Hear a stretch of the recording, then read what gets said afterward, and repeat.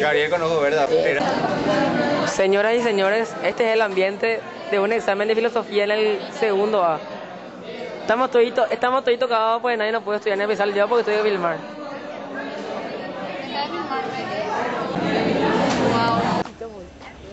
Vamos. Ya Silvio, ya Silvio. Acércale, bueno, acércale. Nico, está en Warner. Saluda.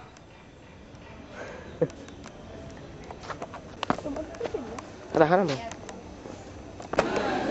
Este es el recreo del Colegio Técnico Javier a las 3.35 de la tarde.